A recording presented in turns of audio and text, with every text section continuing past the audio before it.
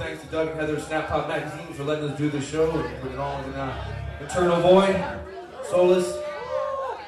Fantastic fun. The song is called We Remain.